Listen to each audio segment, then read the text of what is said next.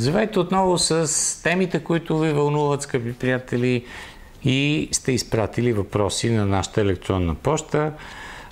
Георги Карайванов се интересува от малко повече информация относно аеробоята, с която се намазват или напръскват част от детайлите по време на тренировките в Формула 1.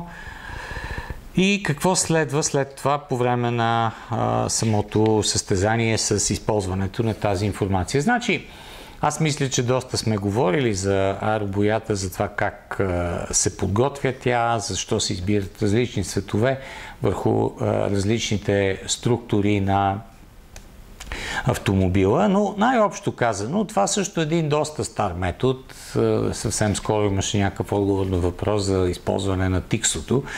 Нещо подобно е използване на аеробоята с а, е, е, така високо съдържание на различни компоненти, на базата на които се изготвя тази смес, която е, се намазва върху конкретни повърхностни на автомобила и когато колата направи няколко обиколки на пистата, просто се оставят следи от въздушния поток върху а, самата а, аеробоя и тя се снима с а, фотоапарати, с камери.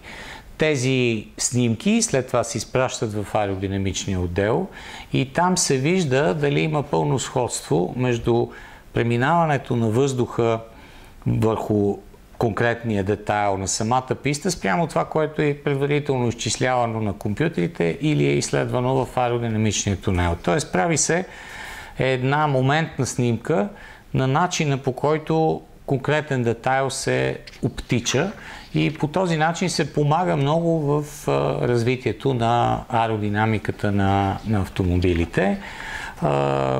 различни компоненти, които съвсем не са нито скъпи, нито много специални се съставят в, в аеробоята, просто след това всичко това много бързо се забърсва от повърхностите на автомобила, след като се направят тези снимки и колата продължава да работи. Но основно се нанасят с четка, някой път може и да се пръсне някъде детайл, ако няма достъп с ръка или нещо подобно. След това се правят конкретните снимки, но това е начина по който се работи с аеробоя. Просто един наистина доказал през годините успешен метод на на работа в Гран При. Благодаря за въпроса. Ще бъдем отново заедно скоро.